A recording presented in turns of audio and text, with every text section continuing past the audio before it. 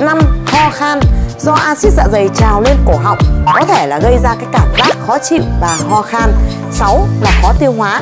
Một số người có thể là gặp phải cái triệu chứng như là khó tiêu hóa như là đầy hơi, ợ chua hoặc là buồn nôn. 7 là cảm giác đầy bụng. Sau khi ăn cơ thể cảm thấy bụng đầy hoặc là căng trước khi tiêu thụ một lượng thức ăn nhỏ. 8 là khó ngủ. Triệu chứng của bệnh trào ngược dạ dày thường trở nên tăng cường vào ban đêm, gây khó ngủ. Nhớ rằng một số người có thể không có cái triệu chứng hoặc là có triệu chứng nhẹ, trong khi người khác có thể gặp phải các cái triệu chứng nghiêm trọng và cần phải được điều trị.